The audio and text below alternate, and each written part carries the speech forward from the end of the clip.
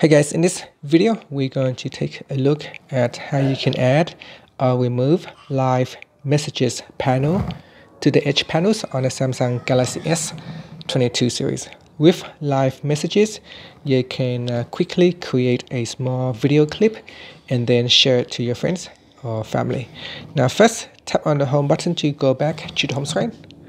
On the home screen, you want to swipe down at the top and tap on the settings button. In settings, swipe up to go down and tap on displayed. Then you go down and tap on um, edge panels. Make sure that you turn on edge panels at the top. Then go down and tap on panels. In here, tap on live messages. Now, if you do not find live messages, you may need to scroll across to locate live messages and then you can simply select or deselect the radio box at the top here. If it is checked, it will be added to the edge panels. And to remove it, simply deselect the checkbox and it will be removed from the edge panels.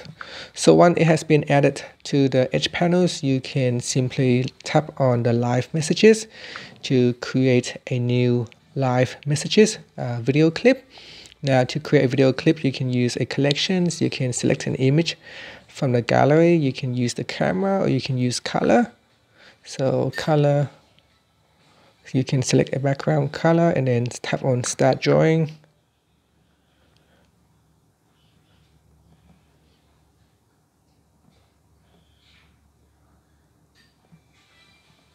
And then tap on done.